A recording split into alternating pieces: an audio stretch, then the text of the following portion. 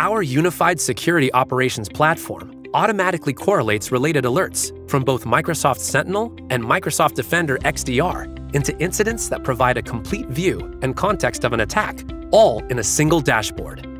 The incidents queue is a central location to prioritize cross domain attacks and alerts.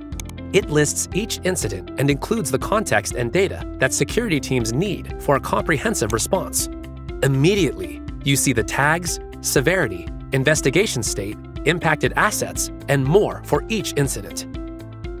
Quickly preview the alerts associated with the incident by selecting the angled bracket next to the title.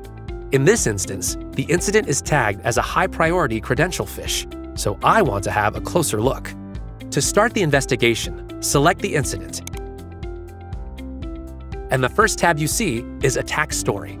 It's a starting point for quickly understanding an incident's who, what, where, and when, all the elements needed for a complete story. In the middle is the incident graph, which illustrates the attack scope. You can quickly see the relationships of all the entities involved. The Alerts section on the left lists the alerts associated with this incident, sorted from oldest to newest. You can play back the alerts to visualize how the attack unfolded, step by step.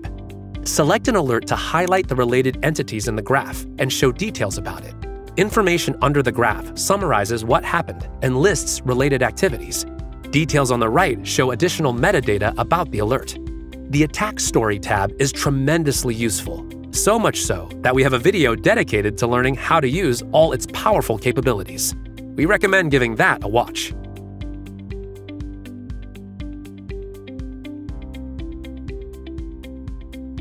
The Alerts tab lists alerts linked to this incident, including for each the severity, status, detection source, and impacted assets. Select an alert to see even more detail about it. Over on the Assets tab are all the assets associated with the incident. Select Users to see a list of users associated with it. Notice the investigation priority?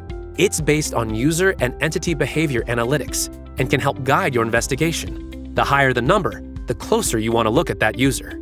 Related to that are the mailboxes involved in the incident. Select a mailbox to see more info about it, and then select Open Mailbox page to continue your investigation in Explorer.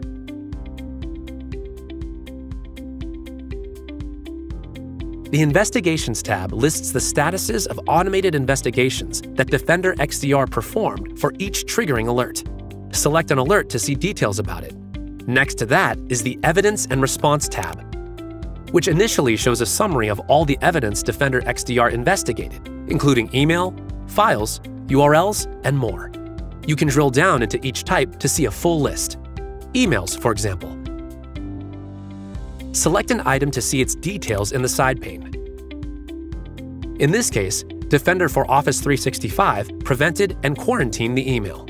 However, it'd be great to quickly hunt for this file elsewhere in the organization, just to expand the investigation. Easy enough. Select Go Hunt, and Defender XDR runs an advanced hunting query specially constructed to do just that. And last, the Summary tab describes the incident's scope and context to help you quickly understand the threat. An old friend that's been here since the beginning. For example, it shows the total number of alerts and how many are still active. It also shows how these alerts map to the MITRE ATT&CK framework. To help you understand the scope of the attack, the Summary tab shows the number of affected assets, like devices, users, mailboxes, and apps, plus a list of the top impacted entities ranked by risk level or priority. Below that is a summary of the evidence that Defender XDR investigated and its remediation status, and to the right is some useful metadata, like tags and incident details. Of course, each tile on this page has a button that you can select to see additional items not shown in the summary.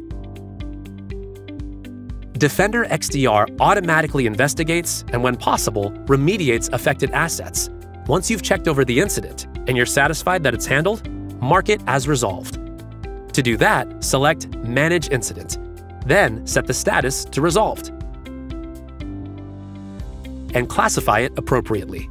In this case, the incident was a multi staged attack, or a true positive.